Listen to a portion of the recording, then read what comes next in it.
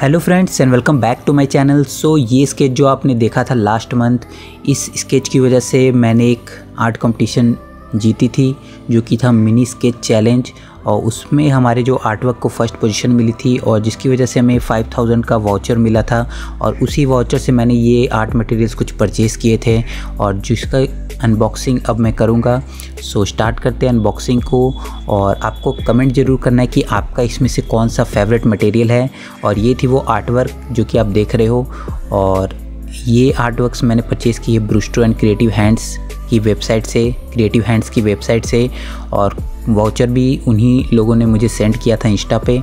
सो ये हैं कुछ फ्रीबीज जो कि आपको नज़र आ रहे ऊपर में और इस बॉक्स में काफ़ी कुछ है। सो वन बाय वन मैं आपको दिखाऊँगा भी सो पैकिंग उन्होंने काफ़ी अच्छी की थी, वो मुझे काफ़ी अच्छा लगा और ये कुछ ट्राई आउट पेपर्स है छोटे साइज़ के जिस पे हम एक्राइलिक वर्क कर सकते हैं। सो इसे कर देते साइड और ये मैंने ऑर्डर किया था एक ब्रूस्ट्रो का बैटरी ऑपरेटेड इरेज़र जो कि फ़ाइन इरेजर्स के साथ भी आता आप देख सकते हो।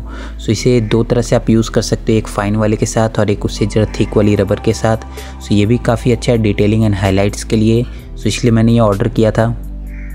और ये जो आप देख रहे हो, ये है ब्रूस्ट्रो के फाइन लाइनर्स और ये सिक्स के सेट में आते हैं। सो इससे भी आप काफ़ी कुछ मंडाला आर्ट वगैरह कर सकते हो, बॉल पेन टाइप से काफ़ी अच्छा फाइन वर्क करता है।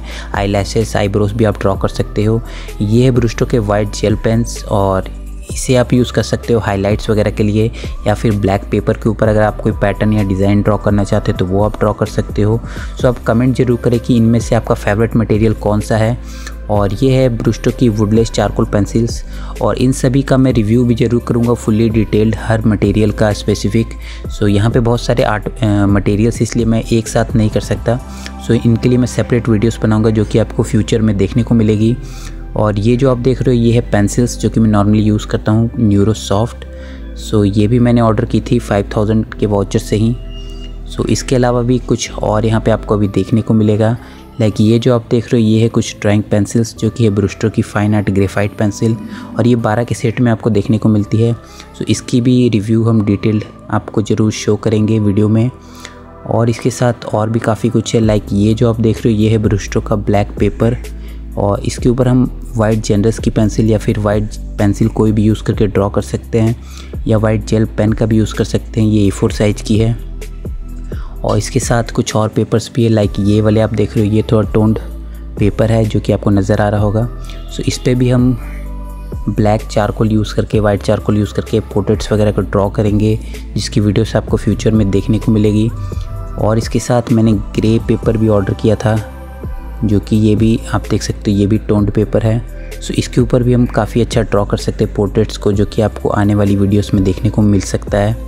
और इसके अलावा जो आप देख सकते हो, इसका साइज़, ये ए फोर साइज़ है। और ये लास्ट नहीं है, ये सेकंड लास्ट है, जो कि आप अभी देखोगे।